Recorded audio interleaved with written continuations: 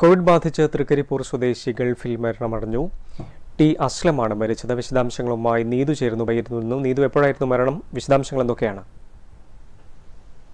ഇന്ന് രാവിലെയോടെയാണ് വീട്ടുകാർക്ക് ഇത്തരത്തിൽ കോവിഡ് ബാധിച്ച അസ്ലം മരിച്ച വിവരം ലഭിച്ചത്. തൃക്കരിപ്പൂർ ഇവിടെ തൃക്കരിപ്പൂർ തൃക്കരിപ്പൂർ മേഖലയിൽ മാത്രം ഗൾഫിലുള്ള ഗൾഫിൽ നിന്ന് മരിച്ചവരുടെ എണ്ണം രണ്ടായിരിക്കുന്നു. ഇത് ഏവരെയും ഏറെ ആശങ്കപ്പെടുത്തുന്നതാണ് കാരണം മുപ്പത്തിരണ്ട് വയസ്സ് മാത്രമാണ് ഇദ്ദേഹത്തിനുള്ളത്. ഇത്തരത്തിൽ പ്രായക്കുറവുള്ളവരാണ്. കഴിഞ്ഞ ഈ രണ്ട് നേരത്തെ മരിച്ച വ്യക്തിക്കും ഇതുപോലെ തന്നെ പ്രായം ഏറെ കുറവാണ്. ഇത് ഏവർക്കും ഒരു ആശങ്കയും ഇടയാക്കുന്നുണ്ട്.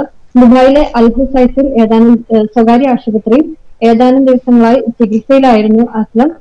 ഇതിനിടെയാണ് ഇന്ന് രാവിലെയോടെ വീട്ടുകാർക്ക് ഇദ്ദേഹം മരണപ്പെട്ട വിവരം ലഭിച്ചത്.